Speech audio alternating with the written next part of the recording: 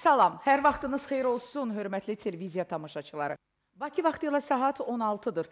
Dünya Azərbaycanlıları bizi izləyir, hər vaxtınız xeyir olsun. Hər birinizi Dünya Televiziyasının birinci studiyasından salamlayırıq.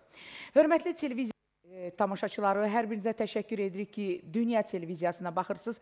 Dünya televiziyasının əməkdaşları hər gün sizinlə görüşə tələsirlər. Necə ki, bax bu gün, bu saatda mən sizinlə necə görüşə tələsirəm, bax elə. Bugünkü efirimizi təqdim etməyə tam hazırıq. Artıq qonağımız da gəlib. Amma öncə istərdim bir təşəkkür edim sponsorlarımıza, sponsorumuza minnətdarlığımı bildirim. Birinci başlayaq Elloni'dən. Elloni Mebel evi sizə dərin təşəkkürümü bildirirəm. Çox sağ olun, var olun. Elloni Mebel evində biri-birindən gözəl, biri-birindən fərqli mebellər var.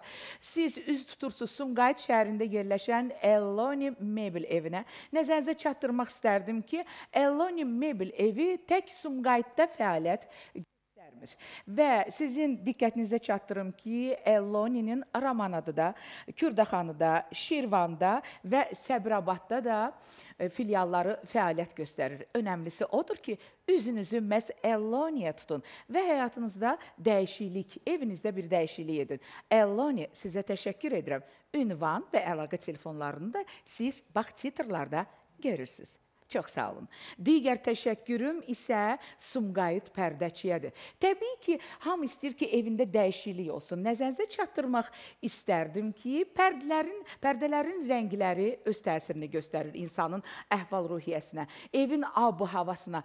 Əgər siz pərdəçiyə getsəniz, Sumqayıt pərdəçi dükanına getsəniz, ürəyiniz istəyən rəngdə ə, pərdə əldə edəcəksiniz. Eyni zamanda jalüzlər də var. Siz jalüzləri də əldə edə bilərsiniz. Qiymətlər də çox sərfəlidir. Yaxşısı budur üzünüzü tutun Sumqayıt pərdəçi dükanına və deyin ki, Dünya televiziyasından eşitdik. Bəs belə söylədilər ki, əgər siz ora getsəniz, sizə endirim olacaq. Siz əlaqə nömrələrini də görürsüz, ünvanı da görürsüz. Məhz bu ünvana gedə bilərsiniz. Sizə də təşəkkürlər.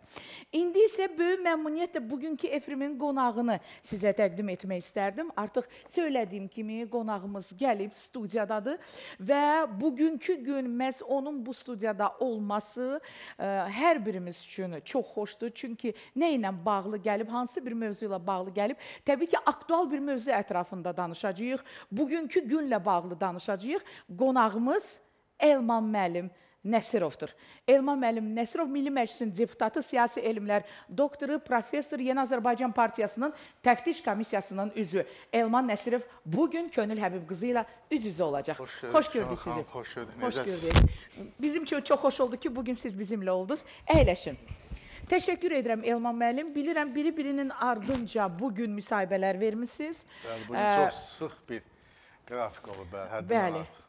Mən Səhv eləmirəmsə bu 14-cü müsahibədir. 14-cü müsahibədir. Allah sizə güc versin. Mən sizə öz dərin təşəkkürümü bildirirəm ki, məhz bugünkü gün siz bizimlə birgəsiz. Çox sağ olun. Bu gün biz təbii ki, e, gündəmdə olan məsələ barəsində danışacağıq və öncə təbii ki, sizin icazənizlə etiraz etmirsiniz ki, artıq biz proqramımızı açıq elan etdik.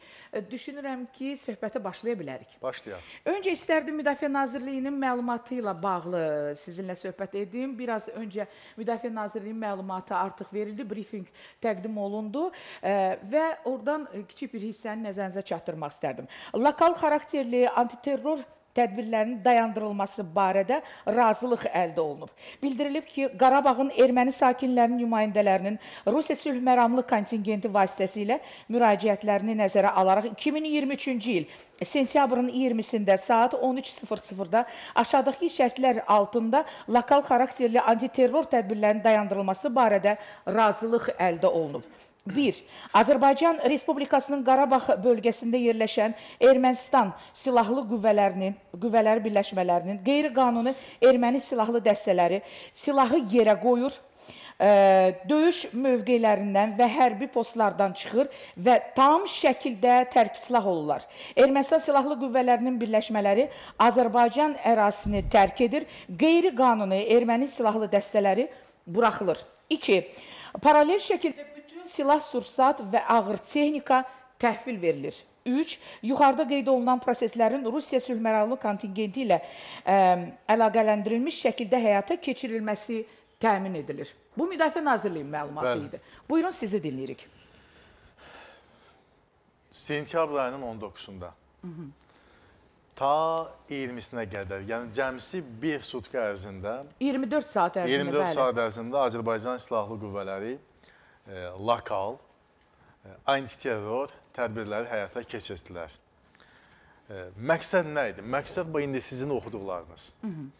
Məqsəd o idi ki, baxmayaraq ki, 44 günlük 2-ci Qarabağ müharibəsində biz tarixi zəfərə imza atdıq, yeni tarixi reallıqlar yaratdıq və onun ardınca həllini gözləyən məsələlər var idi və eyni zamanda tarixi zəfərimiz 10 noyabr sənədində öz əksini tapdı. O sənədin imzalanması ilə nəticələndi. Üç tərəfli birgə bəyannamə ilə nəticələndi və onun dördüncü bəndində Gönül xanım, çox aydın dildə aydın izahla yazılmışdı ki, 4-cü bəndində Rusiya sülh məramlı qüvvələrinin Qarabağdakı Qarabağa gəlişi, yəni konkret o ərazi göstərilmişdi, gəlişi ilə paralel şəkildə erməni e, silahlı qüvvələri çıxarılmalıdır. Birinci hissəsi baş verdi. Gəldilərmi? Gəliblər. 5 il müddətə gəliblər.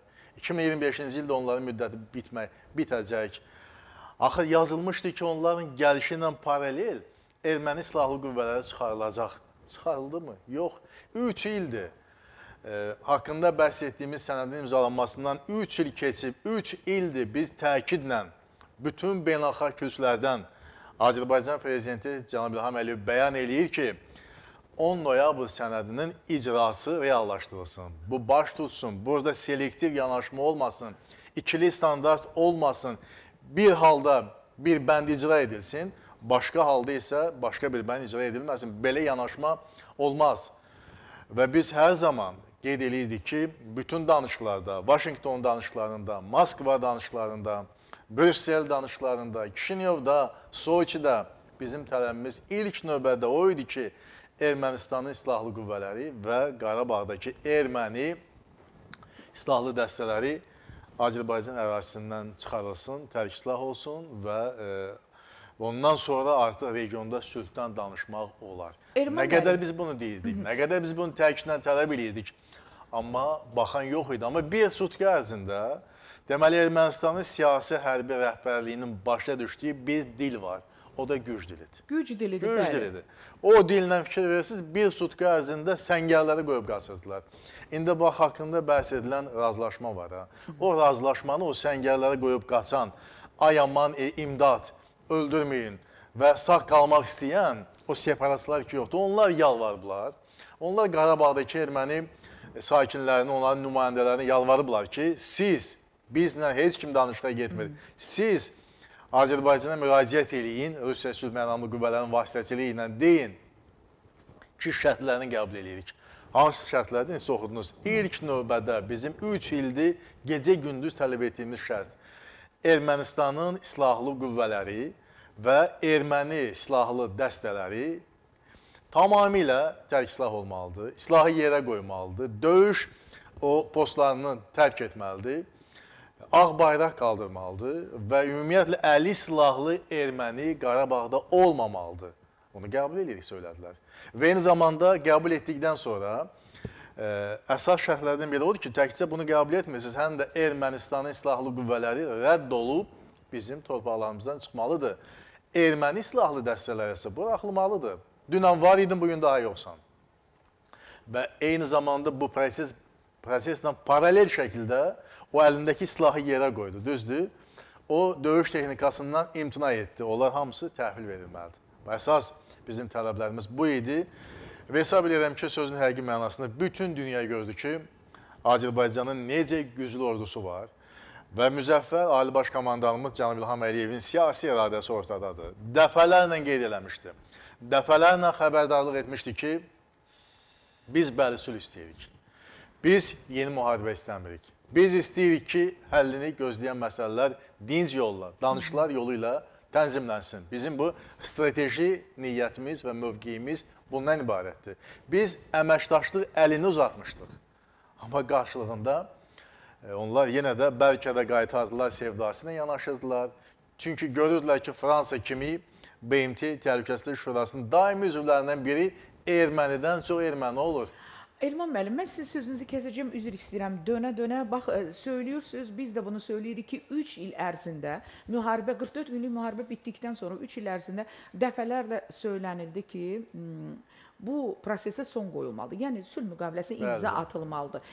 Əgər ə, e, əgər atılmasa, əgər orada Azərbaycanın ərazisində o separatçılar oradan çıxmasa, onlara qarşı antiterror əməliyyatı keçiriləcək.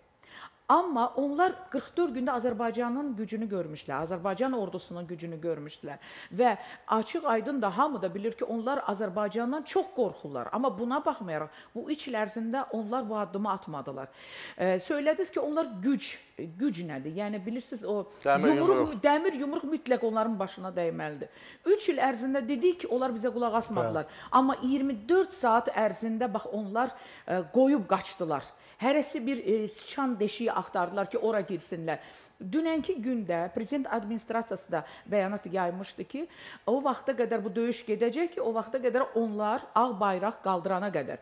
Ağ bayraq qaldırdıqdan sonra artıq döyüşlər dayanacaq. Bəli. Biz nə görürük? Biz onunla üz-üzə qalırıq ki, onlar ə, e, ağ bayraq qaldırmaq üçün belə artıq ə, e, yalvar yaxara düşüblər ki, yəni biz artıq təslim oluruq və öz Bəli. silah sursatlarını da qoyublar. qoyublar. 90-dan artıq biz Müdafiə Nazirliyinin də məlumatını oxuduqda bir çox məlumatlardan daha da aydın ə, e, məlumat aldıq da, məlumatımız oldu. Bax istərdim bu barədə danışasınız. Bax 3 il ərzində onlar e, tərpənmədilər də, bax belə deyək. Təxribatlara əl atdılar, dəfələrlə təxribatlara əl atdılar. Onlar kimar xan idi? Fransaya. O Fransa ki 44 günlük müharibədə onlar onlara nə etdilər? Rusiyaya mı arxain idilər? Rusiya onlara nə etdi? Və yaxud digər ölkələrə mi arxain idilər? Nəyə arxain idilər? Bu gün də onlar özləri söyləyirlər ki, biz beynəlxalq tərəfdən, beynəlxalq təşkilatlar tərəfdən, bir çox ölkələr tərəfdən, heç bir tərəfdən dəstək almadıq. Biz tək olduğumuza görə biz silahı qoyuruq yerə. Bilirsiniz, yəqin ki, Qarabağdakı separatçılarda bu arxainçılıq sindromu öz-özünə yaranmayıb. Gördülər ki, 44 gün ərzində Azərbaycan e, Ermənistan ordusunu darmadağın elədi. Onu ağ bayraq qaldırmağa məcbur etdi. Təslim, təslimçilik e, mövqeyi seçməyə məcbur etdi. Bəli. Ermənistan baş naziri kapitulyan statusuna indi. Bunun hamısını bilirlər. Həm də onun fərqində oldular ki, buna baxmayaraq separatçı rejimin kökün kəsməyə müəyyən beynəlxalq siyasətlər imkan vermədi.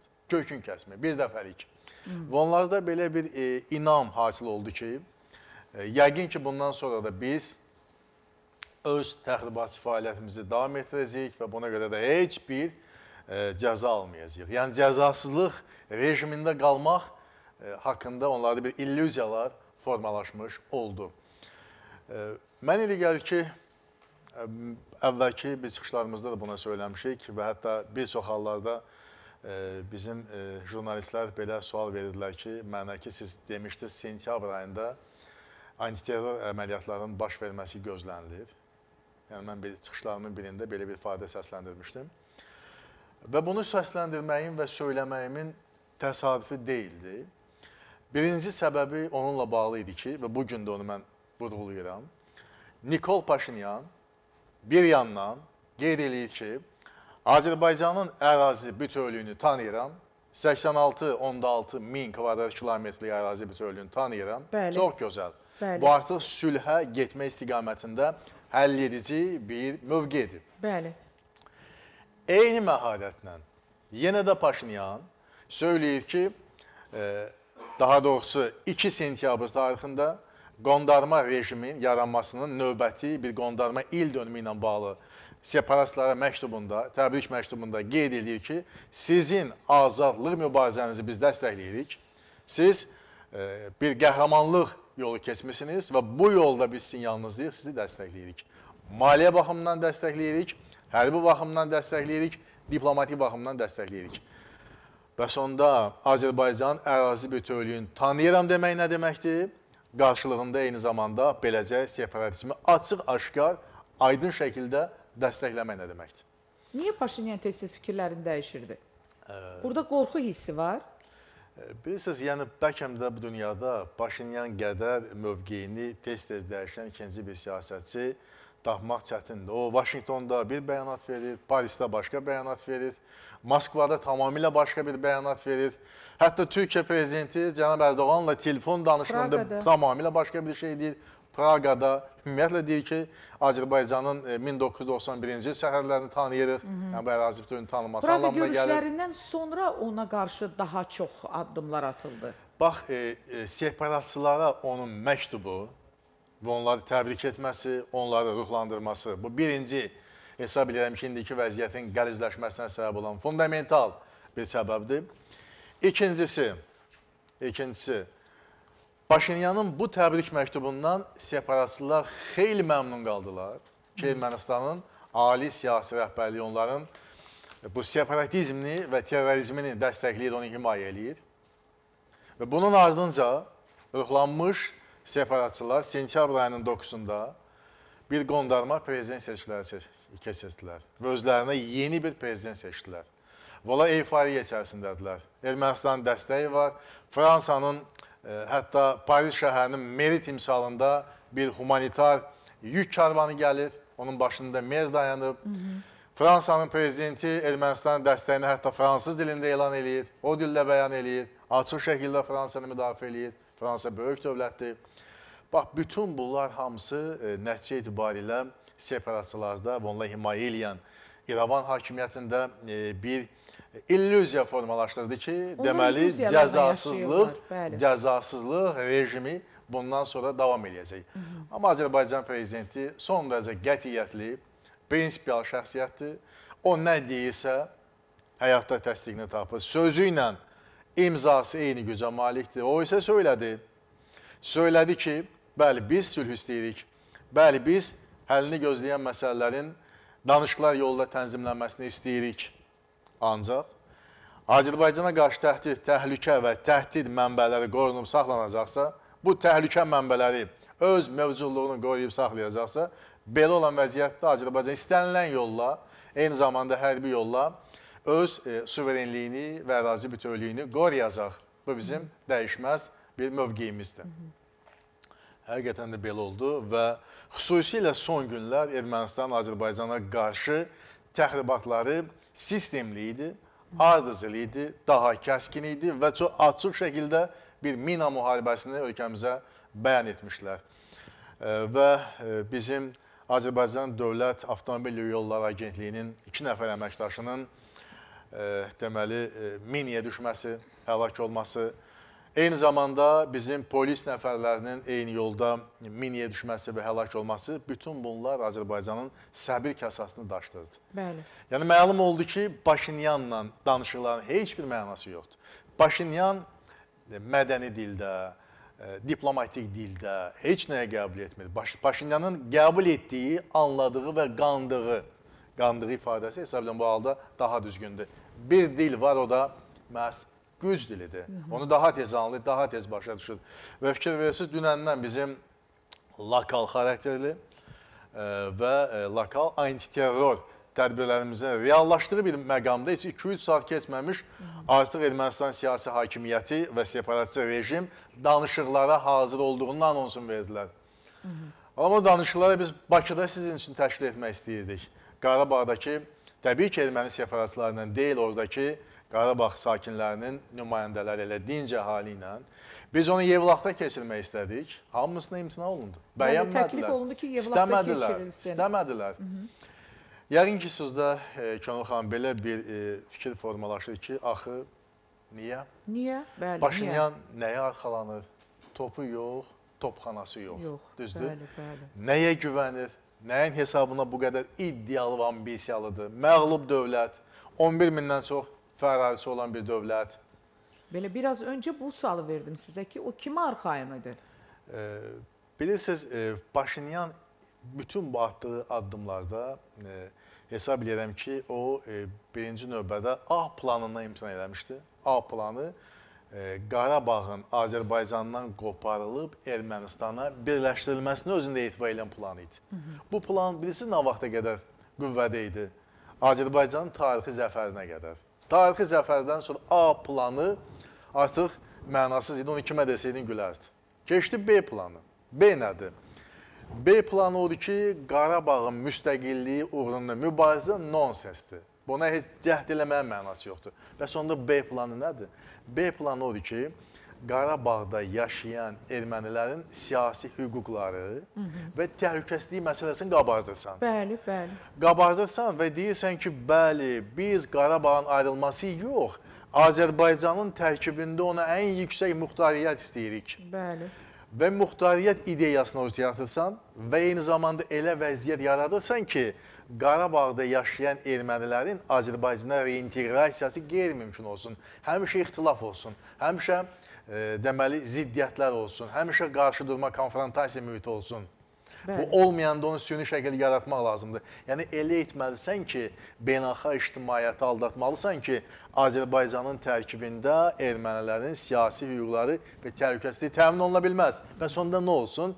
Onda beynəlxalq mexanizm yaradılsın. Yəni biraz da açıq desək, beynəlxalq protektorat, yəni Fransanın, Birləşmiş Ştatların və BMT-nin, o sonranın məsələsidir nəzarəti altında Qarabağ ermənilər Azərbaycan tərkibində olsun. Əslində, yəni olmasın. De jure bizim olur, de jure. Amma de facto, faktik olaraq onlar e, suveren hüquqlara malik olurlar. Onları qoruyan beynəlxalq mexanizm var, beynəlxalq təşkilat Amma var, böyük dövlət var. Fransa tutaq ki var. Niyyət o idi.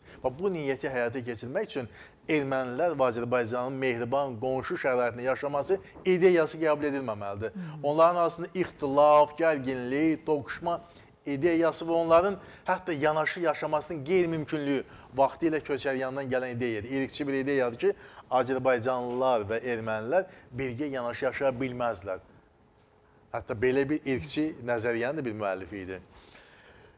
Və Azərbaycan Silahlı Qüvvələri hər şeyi yerinə qoydu. Hər şeyi yerinə qoydu. Nəticə də göz qabağındadır. Nəticə göz qabağındadır və bu günləri biz böyük qürur hissi ilə, böyük fəxarət hissi ilə e, növbəti tarixi e, zəfərimizi qeyd edirik və bu günlər biz xoşbəxtik. Bəli. Xoşbəxt biz bu gün biz bəxtiyarıq ki, elə anlar yaşayırıq ki, bunun e, biz necə səbirsizliklə, necə intizarla gözləyirdik. Hətta bəzi ağız göyçəklər tapılıb Azərbaycan bugünkü iqtidarını, Azərbaycan prezidentini tənqid etməyə cürət eləyirdi ki, haqsızcasına tənqid edirdilər ki, bəs nədən e, bizim bayrağımız Xankəndində yoxdur? Nədən orada e, separatçı rejim e, hökmranlıq eləyir? Biz nəyə dözürük? Niyə biz hərəkətə keçmirik? Amma cənab prezidentin məşhur bir ifadəsi var. O söyləyirdi ki, nəyi, nə vaxt və necə etmə. Mən çox yaxşı bilirəm. Bu birinci mühüm tezisidir. İkinci, biz iki halda hərəkətə keçəcəyik. Bir zaman bizim xeyrimizə işləyəndə, Bir də geosiyasi vəziyyət bizim xeyrimizə dəyişəndə. Gəlin zamana baxaq. Ermənistanı həmişə müdafiə edən kim idi? Rusiya. Bəli. Strateji müttəfiq, hərbi müttəfiq, 102-ci hərbi bazası Ermənistandadır. Qalitiv Təhlükəsizlik Müqaviləsi Təşkilatı çərçivəsində müttəfiqdir, iki tərəfli formatda müttəfiqdir, düzdür? Hı -hı. İndi siz təsəvvür eləyin ki, Paşinyanın yeritdiyi e, anti-Rusiya siyasəti ona gətirib çıxarır ki, bu günləri Moskva və İrəvan bir-birinə düşmən gözü ilə baxırlar. Yeri gəlmişkən bir məqama toxunmaq istərdim Elman müəllim. Dünən ə, Paşinyan, Nikol Paşinyan Ermənistanda Təhlükəsizlik Şurasının təcili iclasını keçirir və iclas bitdikdən sonra isə xalqa müraciət edir. O müraciət edərkən də onu söhbətə başlayarkən Rusiyanın ünvanına sərt belə deyək ki, mesajlar göndərir. Bax, e, sizin sözünüzün, fikrinizin davamı olaraq söylədim ki, sərt mesajlar göndərir.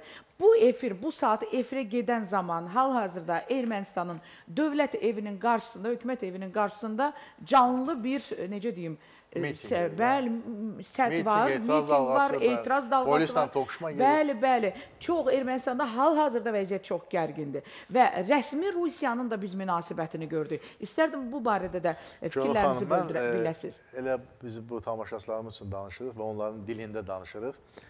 E, məsələ ondadır ki, e, burada sadə bir məntiq var. Çox aydın bir məntiq var. Rusiyanın bu günlər dünyada bir nömrəli düşməni kimdir? Amerika Birləşmiş Ştatları. Xüsusilə Ukrayna cəbhəsində bu iki dövlətin münasibətləri daha rəqiblik münasibət deyil, açıq, aşkar şəkildə düşmənçilik münasibətləridir. Və belə olan vəziyyətdə Rusiyanın üçün Ermənistan kimdir? Rusiya üçün Ermənistan strateji müttəfiq, hərbi müttəfiqdir. İndi paradoksa baxın. 2022-ci ilin noyabr ayında kollektiv təhlükəsizlik müqaviləsi təşkilatının, yəni bu hərbi siyasi təşkilatın sədrliyi Ermənistan eləyirdi. Onun e, Ermənistan paytaxtında toplantısı keçirilir, ali yığıncağı keçirilir və onun yekun sənədi qəbul edilmir. Bilirsiniz niyə? Çünki Ermənistan veto qoydu. Yekun sənəd olmadı. Bundan iki ay keçdikdən sonra 2023-cü ilin yanvar ayında yenə də həmin hərbi siyasi təşkilatın Ermənistanda keçirilən hərbi təlimlərinin e, keçirilməsinə Ermənistan icazə vermədi. Dedi olmaz. Ərazimdə belə bir hərbi təlimlər keçirmək olmaz. Və bunun ardınca isə sentyabr ayının 11-dən sentyabr ayının 20-sinə qədər, yəni bu günə qədər Ermənistan Rusiyanın düşməni olan Amerika Birləşmiş Ştatlarının hərbçilərini dəvət edib ölkəsinə, Paşinyan dəvət edib və Ermənistan paytaxtında birgə Ermənistan, Amerika Birləşmiş Ştatları hərbi təlimləri keçirilir. İnan bu sözü bir iki il bundan qabaq desəydin, deyərlər ki, yəqin ki, bu sayıqlayır, yəqin ki, məntiqi pozulub, özünə nə danışdığını bilmir. Amma dediklərimiz reallıqdır, dediklərimiz həqiqətdir. Və tərəflər bir-birini ittiham edirlər. Hətta Vladimir Putin bir neçə gün öncə e, san, e, deməli e, Vladivostok şəhərində keçirilən böyük iqtisadi bir tədbirdə, forumda açıq şəkildə söylədi ki, Praqada Ermənistan baş naziri Nikol Paşinyan Azərbaycanın ərazi bütövlüyünü tanıyıb. Bəli. Hətta onun parametrlərini göstərib. Bəli, 86.6 bəli, min bəli. kvadrat kilometr. Düzdür? Bəli. Bunlar olub. Bunları söylədi. Ermənistan eləyib. Ermənistan baş naziri eləyib. Bəli, bəli. Ondan sonra gedin problemlərinizi həll edin. Siz artıq tanımısınız. Qarabağ Azərbaycandır demisiniz və buna imzanızla Praqada həyata keçirmisiniz. İndi göt problemi həll elə. Yəni bununla da e, Rusiya prezidenti Vladimir Putin e, e, potensial Azərbaycan-Ermənistan qarşı durması olacağı təqdirdə kənar neytral mövqedə olacağını ifadə etmiş oldu. İrana gəlin. E, Yəqin ki, sizdən də Könül xanım soruşsaydılar ki, e, Ermənistan bu dünyada ən yaxın e, ən yaxın müttəfiqlərini sadalayın. Yəqin ki, siz birinci yoxsa ikinci İranın adını çəkəcəydiniz. Düzdür? Bəli. Çünki İran həm 2-ci Qarabağ müharibəsindən öncə onun gedişatını ondan bəli, sonra bəli. da açıq mətndə dəfələrlə Ermənistanın mövqeyini müdaxilə edib. Amma bu Bəli. dəfə Paşinyan götürdü, zəng elədi e, İbrahim Rəisiyə, İranın e, prezidentinə. Prezidentinə. İran prezidenti ona söylədi ki, regionda həllini gözləyən məsələlərin tənzimləməsi üçün 3 plus 3 variantından əlavə variant yoxdur. 3. Azərbaycan, Ermənistan və Gürcüstan. 3. Rusiya, Türkiyə və İran. 6 dövlət regionun məsələlərini tənzimləmək hüququna malikdir. Onlar məsləhətləşmə aparıb bu və digər yanaşma ortaya qoya bilər. Bunu niyə dedi? Çünki e, İranın İran üçün də dünyada bir nömrəli düşmən dövlət Amerika Birləşmiş Ştatlarıdır. Və bu İranın e, deməli interpretasiyasında, İranın e, necə təqdimatında Amerika Birləşmiş Ştatlarına böyük şeytan deyirlər. Şeytanı bozorg fars dilində. Bu İran terminologiyasıdır. Onlar belə söyləyirlər. Deməli İranın məntiqincə İran prezidenti e, İbrahim Rəisinin Rəis. mövqeyinə görə onun yaxın dostu Ermənistan, İranın düşməni Amerika Birləşmiş Ştatlarını, yəni böyük şeytanı, onlar belə hesab eləyir. Bəli.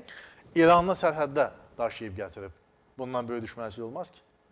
vəziyyət bu qədər kritikdir. İran rəsmilərindən biri də bu mətbuat konfransı keçirərkən öz çıxışı zamanı Ermənistana qarşı öz fikirlərini söyləmişdi. Və eyni zamanda İranın bilirsiniz ki, generallarından birinin rəhbərliyi altında bir hərbi heyət Bakıda oldu.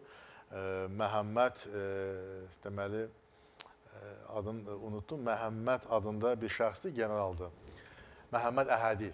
Onun rəhbərliyi altında bir nümayəndə heyəti gəldi. E, hərbi qənimətlər parkında oldu. Orada çəkilişlər apardılar. İran mətbuatı onu yaydı. E, və İran e, bu məsələlərdə Azərbaycan mövqeyində dayandığını ifadə elədi. Azərbaycan ərazi bütövlüyünü növbəti dəfə tanıdığını bəyan etdi.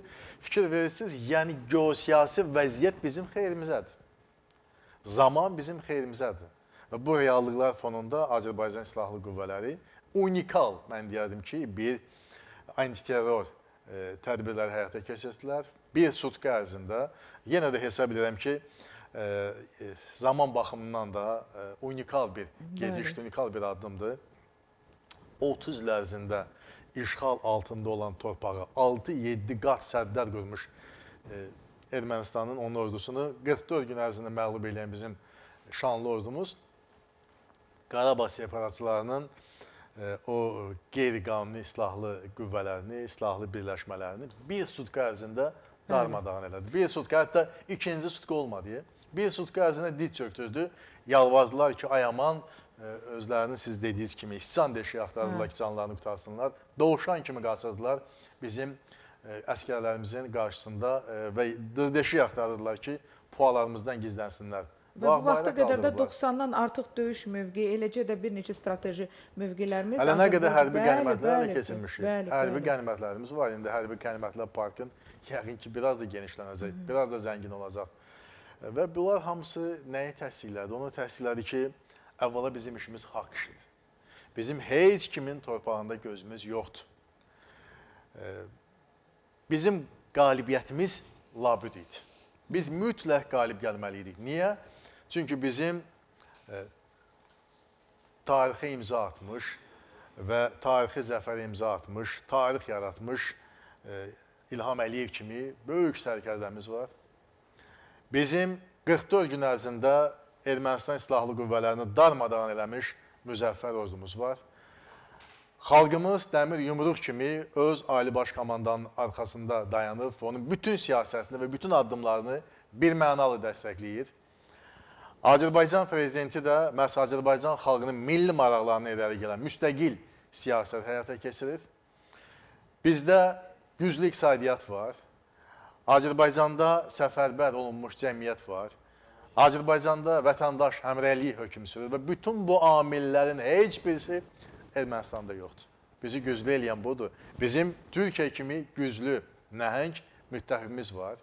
Bizim Pakistan kimi dünyada yeganə müsəlman dövlətidir ki, nüvə silahına malikdir. O bizi dəstəkləyir. Ərazisi kiçik, əhalisi kiçik, amma potensialına görə dünyanın ən böyük dövlətlərindən biri olan İsrail kimi bizim dostumuz var. Və region dövlətləri bizim haqq işimizi müdafiə elədi. Hətta İran da müdafiə elədi. Gürcüstan bizim yanımızdadır. Bəli. Və Ermənistanın siyasi rəhbəri bütün bu siyasi janqlyorluğuna, siyasi hoqqabazlığına, və aventurasına, e, aventurasının cəzasız qalacağının ümid bəsləyirdi. Onun bütün bu xülyaları puç oldu. Bütün bunlar hamısı bir utopiya idi. O röyalarında bunları görə bilərdi. Və indi Ermənistan silahlı qüvvələri 3 il bundan qabaq did çökmüşdü, ağ bayraq qaldırmışdı. Onların tör töküntülərin bir qismi hələ də Qarabağda idi. İndi də biabırcasına, biabır şəkildə silahları yerə qoyub, e, indi Azərbaycan ərazisinə rədd olub gedəcəklər.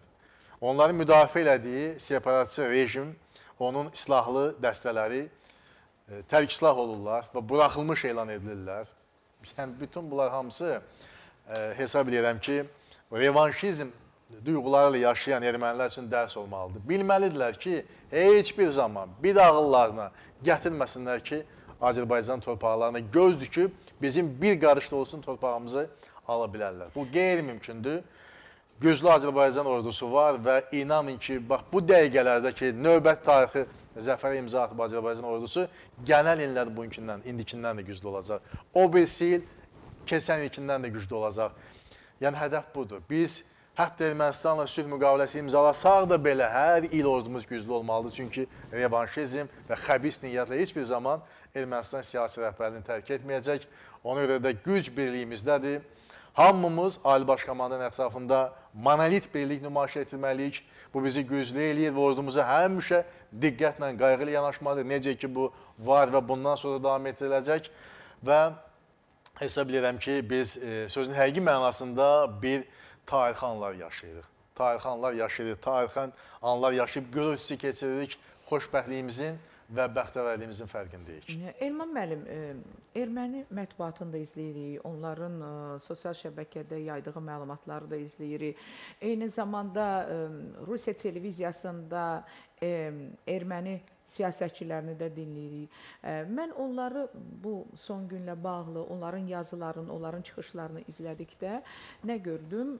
Düzdür. Erməni bütöv biz ermənini bir istiqamətdə belə deyək, addımlayan kimi görmürük. Çünki ermənilərin içində də parçalanma çoxdur. Azərbaycanla razılaşanlar var, Azərbaycanla razılaşmayanlar var, hansı ki separatçılardır. Nikol Paşinyana qarşı çıxanlar var. Yəni onların öz daxilində də parçalanmalar var. Və onların çıxışlarını izləyərkən ə, e, hər zaman görürəm ki, Azərbaycanla razılaşan insanlar var. Jurnalistlər var, ə, e, siyasətçilər var. Akopyan adlı bir siyasətçi belə bir fikir söylüyürdü ki, ə, e, mən onun fikri ilə tanış olanda Əliyev öz sözünün sahibidir. O bunu edəcək. O nə deyirsə o bunu edəcək. Yəni ondan çəkinmək lazımdır. Bilin, o çox güclü bir siyasətçidir. Bu Akopyanın fikri idi. Bundan əlavə, misal üçün, Tatul Akopyan adında bir e, radikal jurnalist var. Onun da yazısı ilə tanış olanda mən nə gördüm? Hörmətli hakimiyyət, hakimiyyəti dırnaq arasında yazır. Hörmətli hakimiyyət, danışıqlara girin və soydaşlarımızı xilas edin. Qərar verməkdən çəkinməyin, yəni danışıqlara girin. Artıq hər şeyin sonudur. Biz ancaq uduzuruq. Qalibiyyətdən heç bir söhbət gedə bilməz. Biz böyük bir güclə üz-üzə qalmışıq. Eyni zamanda Qarabağ separatçılarının yeni lideri Şahramanyan çıxışı zamanı deyirəm də, o bilirsiniz, o batan adam bir çöpdən də yapışmaq istəyir və söyləyir ki, beynəlxalq dəstək olmadığından bax biz belə uçuruma gedirik. Bu da onun fikridir. Şahramanyan e, təsəvvür edin ki, 11 günlük dırnaqarası prezidentlik yaşadı. Bəli, 11, 11 gün. gün. Bəli. Bu da onun sonu.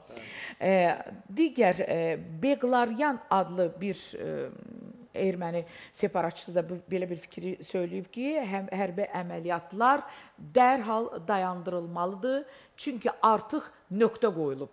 Yəni bunların özləri söyləyirlər. Bunların özləri müsahibə verərkən. Hələ mən onların bir neçəsini söylədim.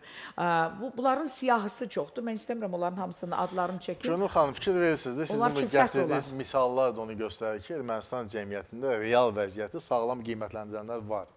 Və onlar həm də e, bilirsiniz, e, fərqindədirlər ki, bir ordu ki, 3 il bundan əvvəl, hələ 3 il bundan əvvəl, 3 il sonra daha da güclüdür. 3 il bundan əvvəl 44 günə tarixi qələbə imza atıb, indi onun qarşısına 11 min, 12 minlik separatist rejimin əli silahlı dəstələri çıxır. Azərbaycanın 100 mindən artıq ordusu var. Bizim qoş ordunun e, deməli əskərləri və zabitin sayı 100 min ötüb keçir. Və belə olan vəziyyətdə o qədər ağlını, məntiqini itirəsən ki, Azərbaycan ordusu ilə dünyanın ən güclü orduların biri ilə e, üz-üzə gələsən və Bəli. düşünəsən ki, qalib gələcəksən. Belə düşüncədə olma siyasi dəlilikdir. Hı -hı. Siyasi dəlilikdir və nöqtə. Və mən hesab edirəm ki, e, indiki halda, bax sizin o çəkdiyiniz misallar da onu göstərir ki, Ermənistan cəmiyyətində, hətta radikal jurnalistlərin içində belə reallığı düzgün, adekvat qiymətləndirənlər var. Var. Amma gəlin biz öz içərimizə də qayıdaq. Bax elə yeri gəlmişkən biz öz siyasi partiyalarımızdan da istərdim Elə o məsələyə toxunmaq istəyirəm. Bəli, istərdim bu barədə danışıb. Bax, hər zaman söyləyirik ki, hər zaman biz bir olmalıyıq. Xalqımız da birdir. Amma çox təəssüflər olsun bəli, ki, bəli. onların içərisində elə insanlar var ki, mən onlara Azərbaycanlı demək istəmirəm. Bax, bilirsiniz, əslində Azərbaycanda olan siyasi partiyaların fundamental məsələlərdə, ümumilli məsələlərdə orta mövqedən çıxış etməsi Bu e, unikal hadisədir. Onun bənzəri yoxdur. Əslində belə də olmalıdır. Vətənpərvərlik buna deyirlər, dövlətsevərlik buna deyirlər. E, söhbət ümummilli məsələdən gedəndə partiya mənsubiyyəti olmur. Tamamilə doğru. Söhbət İqtidaram, Azərbaycandan gedirsə. Mən iqtidaram, Bəli, mən bəli. müxalifətəm Bəli, tam yanaşması doğru, olmur. tam doğru. Və yadınızdadır ki, 44 günlük Vətən müharibəsinin gedişatında Azərbaycandakı siyasi partiyaların mütləq əksəriyyəti cənab prezidentin siyasətini və onun rəhbərliyi altında ordumuzun həyata keçirdiyi hərbi əməliyyatları dəstəklədilər, Bəli. müdafiə etdilər. 2-ci Qarabağ müharibəsi zamanı böyük siyasi dəstək verdilər. Beynəlxalq təşkilatlara müraciət etdilər və tarixi zəfərimizdə bu amilin də rolu var.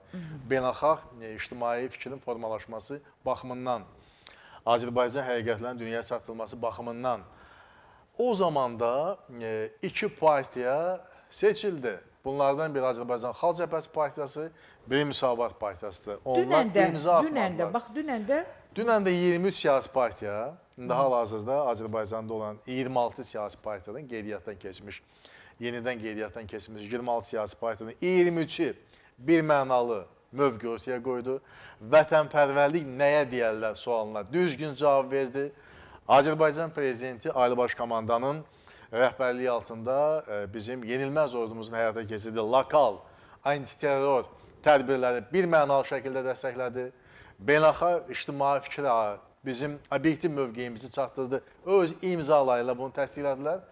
Üç partiya, Bəli. yenə də Azərbaycan Xalq Cəbhəsi partiyası, başda Əli Kərim olmaqla, Müsavat partiyası Arif Hacılı olmaqla, eyni zamanda Real partiyası İlqar Məmmədov olmaqla e, tamamilə fərqli bir mövqe ortaya qoydular. Onlar e, siyasi partiyaların birgə imzaladığı o mövqeyə qarşı çıxdılar, ona qoşulmadılar.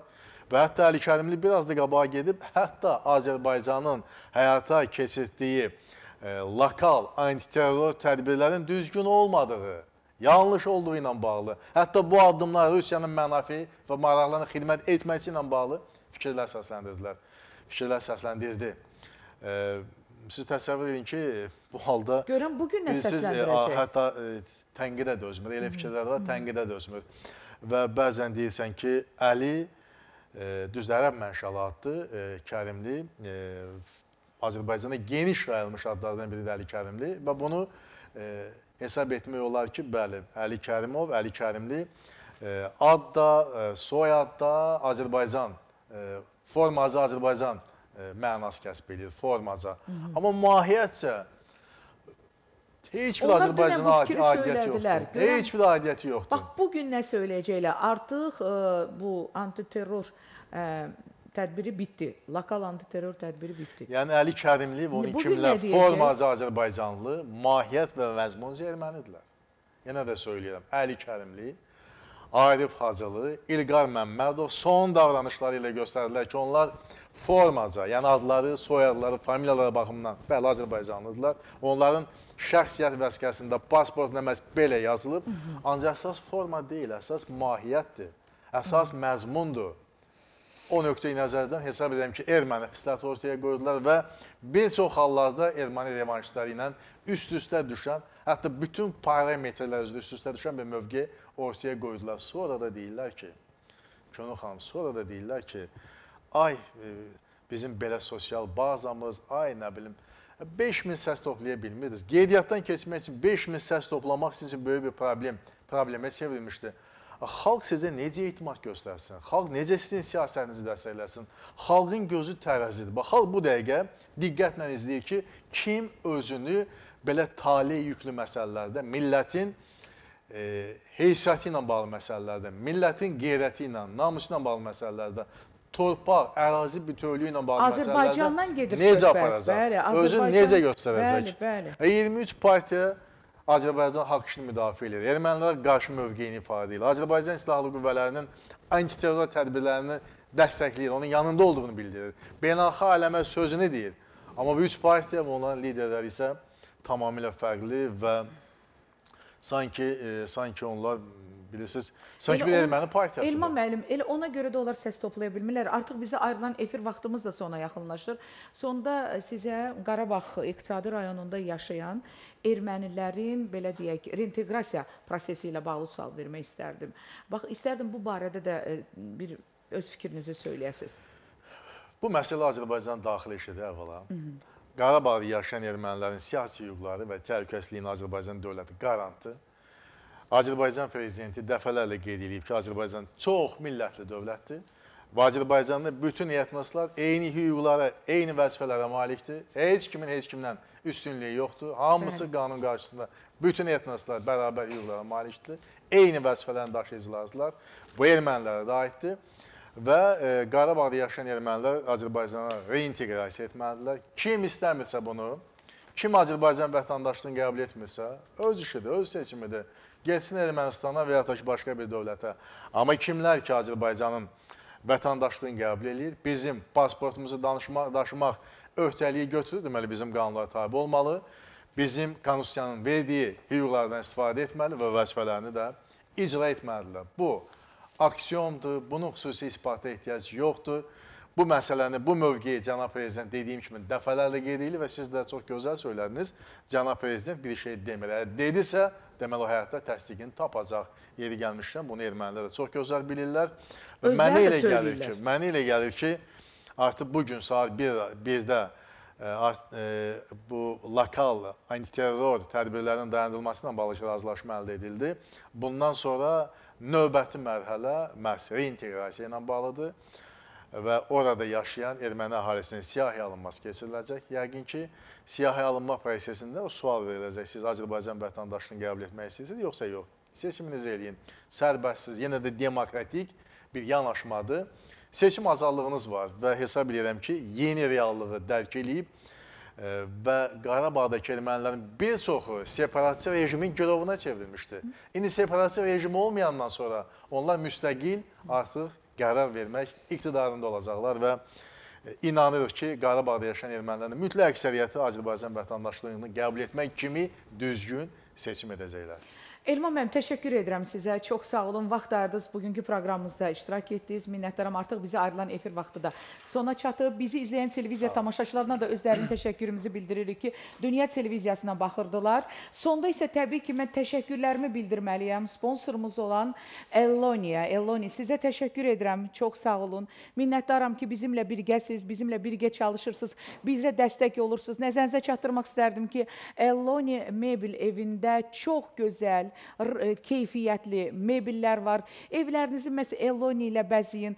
Qoy rahatçılıq olsun. Əgər rahatlıq istəyirsinizsə, məhz Eloniyə üst tutun. Aşır müəllim sizə dərin-dərin təşəkkürümü bildirirəm. Əlaqə nömrələr və ünvan təqdim olunur. Bir daha nəzərinizə çatdırmaq istərdim ki, Eloninin nəinki Sumqayıtda, digər yerlərdə də Səbirabadda, e, Ramanıda, Kürdaxanıda, Şirvanda da onların filialları fəaliyyət göstərir. Təşəkkür edirəm. Digər təşəkkür təşəkkürüm isə Sumqayıt Pərdəçiyədir. Evlərinizdə belə deyim, fərqlilik yaratmaq istəyirsinizsə, Sumqayıt Fərdəçiyə müraciət edin. Çünki orada biri-birindən gözəl pərdələr var, jalüzlər var. Müraciət edin və evlərinizin bir ab havasını dəyişin.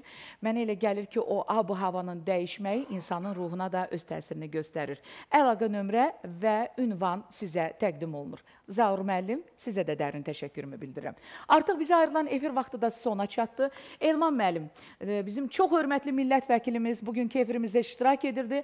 Elman müəllim sizə dərin təşəkkürümü bildirirəm və bir daha televiziya tamaşaçılarının nəzərinə çatdırmaq istərdim ki, bugünkü efirimizin qonağı e, Milli Məclisin deputatı, Yeni Azərbaycan Partiyası Təftiş Komissiyasının İdarə Heyətinin üzvü Siyasi elmlər doktoru, professor, siyasətçi Elman müəllim Nəsirov idi. Elman müəllim çox sağ olun, minnətdarım. Artıq proqramımızın da gözümüz aydın olsun. Uğurlarımız bol olsun. olsun ki, növbəti tarixi zəfərə bizim şanlı ordumuz imza atıb, öz müzəffər prezidenti Ali Baş Komandan ilə birlikdə.